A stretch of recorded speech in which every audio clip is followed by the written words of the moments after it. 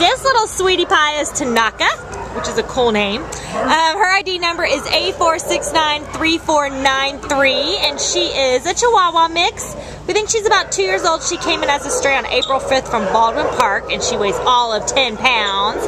And she is just a sweet little gal, as you can see. She's um, a quintessential lap doggy. She's a little shy at first, but warms up and, you know, enjoys human companionship and likes to sit in your lap and chill out.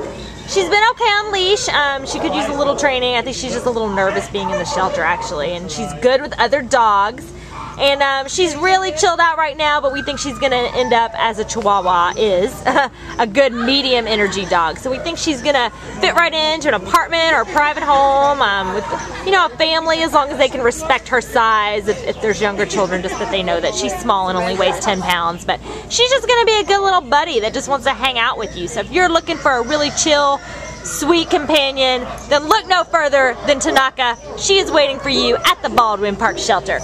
Right, sweet girl? Bye-bye, sweet girl.